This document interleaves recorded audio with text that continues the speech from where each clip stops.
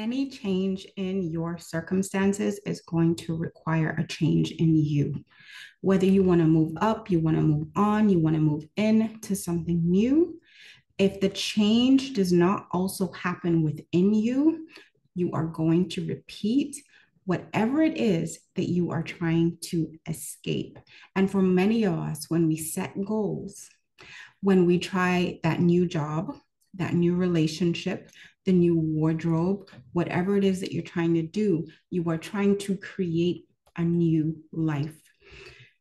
And this is a mistake that I see a lot of women making is that we can change our clothes, we can change our hair, we can change our image, we can change our relationship, we can change our job, we can move from one city to another, we can move from one country to another.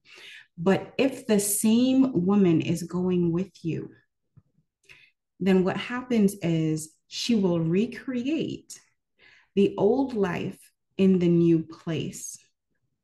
And it's going to feel as if you're doing all the right things and yet you're getting the wrong results. And it's because if you have not dealt with the woman within, it doesn't matter where you go. It doesn't matter what new thing you do if the old woman is still within you. There's a scripture that says, if any man be in Christ, it, it words it that way, but it says, if any person is in Christ, he is a new creature. Old things are passed away, all things have become new. There are so many women who are, you're believing God for a breakthrough, you're believing in God for a miracle. The breakthrough is not just in your circumstance. Do not limit your blessing or your breakthrough to just your circumstance. The blessing and the breakthrough also happens within you. And it also happens so you can be a blessing to others in that new place, in that new space, in that new job, in that new relationship through your new lifestyle. You will be a blessing to others because you will be new.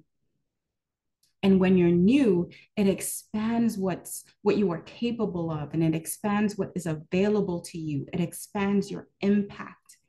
It expands so many things. But if you are not willing to also become new, then your vision for your life, for yourself, for whatever it is you're trying to accomplish is limited because the vision is not only limited to what you will accomplish, the vision also includes who you will become.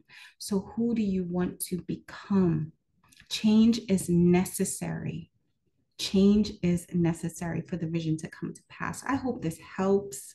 If it has, give, give this video a thumbs up, leave a comment below, and I want to wish you blessings on your journey. I'll talk to you soon.